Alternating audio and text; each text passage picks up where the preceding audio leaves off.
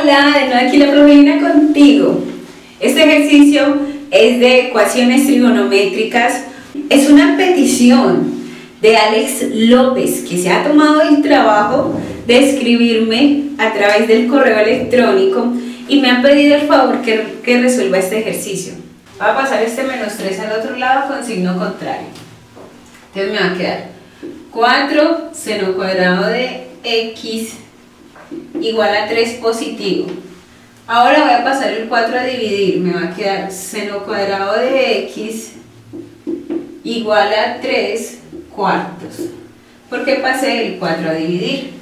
Ahora voy a sacar raíz cuadrada a ambos lados, teniendo en cuenta que una respuesta puede ser con signo más y otra puede ser con signo menos. Entonces, raíz cuadrada a ambos lados. Raíz cuadrada de 3 sobre 4. Ahora bien, vamos a simplificar. Esta, este exponente a la 2 se cancela con esta raíz, entonces me va a quedar seno de x.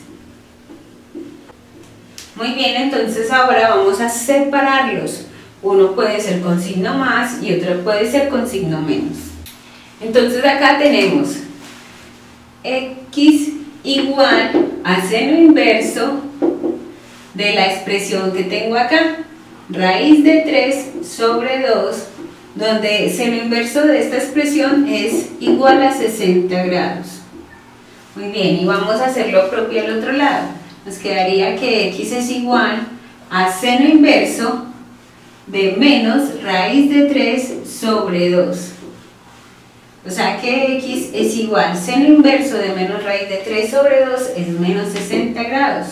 Este ángulo de acá viene a ser igual a 180 grados más 60 grados. Y esto da 240 grados. Por ende, este ángulo de acá mide 240 grados. Ahora vamos a hacer este otro. Este viene a ser 360 menos los 60 grados. Viene a ser 360 grados menos 60 grados. Y esto da 300 grados.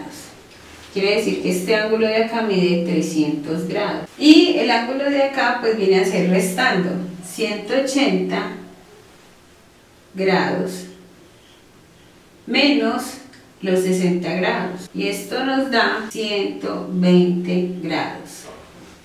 Quiere decir que este ángulo de acá mide 120 grados. Basándonos solamente entre 0 y 360 grados, entonces tenemos que los ángulos que satisfacen el ejercicio pueden ser x igual a 60 grados, x igual a 120 grados, x igual a 240 grados, y finalmente x igual a 300 grados.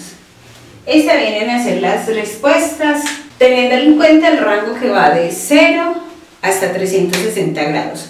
Bueno, Alex López, espero que la solución de este ejercicio haya sido satisfactoria para ti, que yo me haya hecho entender, ese es mi mayor anhelo. Y así como Alex López, espero que ustedes también, que están viendo este video, les sirva y que yo me haya hecho entender. Si ha sido así, por favor, recuerda darle me gusta. Les recuerdo que subo video todos los días de lunes a viernes y que esto yo lo hago con un gusto inmenso para ustedes. Muchísimas gracias por verme. Se despide de ustedes la profesora Lina. Un abrazo y que tengan un excelente resto de día.